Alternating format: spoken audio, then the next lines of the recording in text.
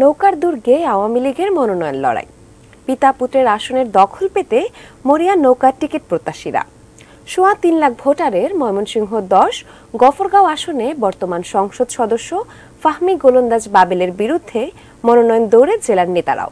একে আজাদের রিপোর্ট এবং ছবি তুলেছেন মারুফাল মুকিত। গফরগাঁও উপজেলা শহরের প্রধান সড়ক। এটি এতটাই অপ্রশস্ত যে কয়েকটি অটোরিকশা চলাচল করলেই এখানে যানজট লেগে যায়। ভোগান্তিতে পড়েন যাত্রীরা। যারা জরুরি প্রয়োজনে বের হন দুর্ভোগ পোহাতে হয় তাদের। বেহাল দশা এখানকার ড্রেনেজ ব্যবস্থারও। বৃষ্টি হলেই একটি অংশে হাঁটু পানি জমে। নাকাল হন পথচারীরা। ফুটপাতের দোকানগুলো আছে। এইগুলো সরানো বা রিক্সা অটো রিক্সাগুলো দাঁড়ানো থাকে। অল্প বৃষ্টি হলে প্রচুর পরিমাণ পানি জমে। তো চলাফেরাটা খুব কষ্ট আর কি। গফরগাঁও স্টেশন থেকে রেল লাইনের পাশ দিয়ে চলে গেছে হাতিখোলা বাজারমুখী সড়ক। এই রাস্তাটিও ভাঙাচোরা। জরাজীর্ণ ভাষা সৈনিক শহীদ আব্দুল জব্বার নগরে যাওয়ার বাইপাস সড়ক।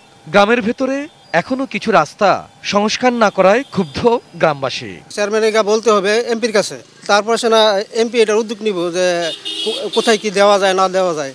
একানব্বই নির্বাচনে গফরগাঁওয়ে নৌকার জয়ের সূচনা হয়েছিল মরহুম আলতাফ হোসেন গোলন্দাজের হাত ধরে, যিনি টানা তিনবার এমপি নির্বাচিত হয়েছিলেন। দু হাজার সাত সালে তার মৃত্যুর পর উত্তরাধিকারী হিসেবে রাজনীতিতে আসেন ছেলে ফাহমি গোলন্দাজ বাবেল। তিনি বর্তমানে এই আসনের এমপি। এবার গফরগাঁও আসনে বর্তমান সংসদ সদস্য ছাড়াও জেলা আওয়ামী লীগের সাধারণ সম্পাদক নৌকার টিকিট পেতে মরিয়া। আওয়ামী লীগের মনোনয়ন প্রত্যাশী অন্তত আরও আটজন যাদের মধ্যে সাবেক পৌর মেয়র এবং জেলা আওয়ামী লীগের সহসভাপতিও আছেন। আছে পাঁচ ছয় জন আছে যে এমপি সাহেবের বিরুদ্ধে দাঁড়াইতে চাই তারা।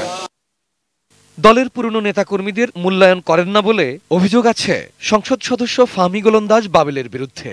আছে বিরোধী মতের প্রতি দমন পীড়নের অভিযোগও। এ নিয়ে বারবার চেষ্টা করার পরও সংসদ সদস্যের সাড়া মেলেনি। পরে কথা হয় তার অনুসারীদের সঙ্গে। আঙুর এমপি হয়েছে অল্প বয়সের মানে ইয়ং বয়সের ফুলাফান হ্যাঁ যেরম বয়স কর এরম বয়স করে তাই পছন্দ করে আর কি। রাজনীতি আছে কিন্তু তারা উঠে না। ওঠার জন্য তো তাদেরকে মানা করে নাই।